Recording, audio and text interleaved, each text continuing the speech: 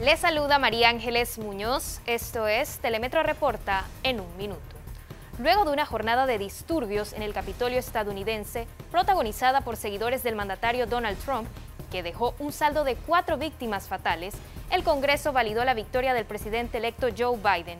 Trump se comprometió a realizar una transición ordenada. La ministra de Relaciones Exteriores, Erika Moines, lamentó los actos de violencia registrados en Estados Unidos. La canciller manifestó su confianza en que los valores democráticos prevalecerán para el resguardo de la institucionalidad y el respeto al Estado de Derecho. Y el Partido Popular presentó una solicitud ante el Ministerio de Relaciones Exteriores para que dé información sobre todo lo relacionado con la adquisición de vacunas contra el COVID-19.